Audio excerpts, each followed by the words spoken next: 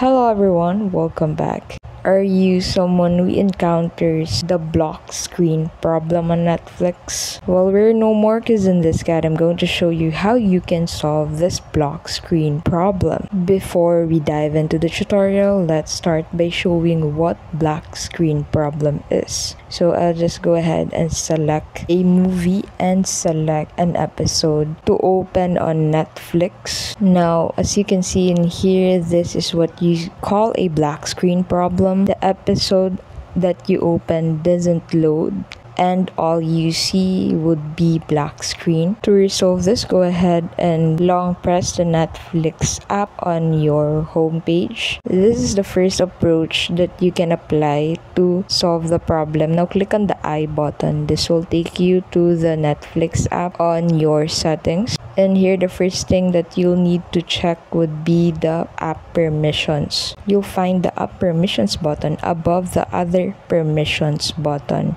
now click on this and you'll be able to find all the permissions that you can allow for Netflix. Now make sure that you enable all the necessary permissions such as notifications. Now if this approach doesn't work, go back to the app info and click on the battery saver option. Now in here, make sure that your battery saver is enabled on no restriction. Now if this approach doesn't work as well, go ahead and click on the clear data button on the app info. Under the clear data would be the clear cache button. So click on clear cache to be able to delete all the stored information on Netflix. And when you reopen Netflix, you now have a fully functional application. If the mentioned solutions doesn't work with you, then let's head over to the Play Store and search for Netflix. We'll check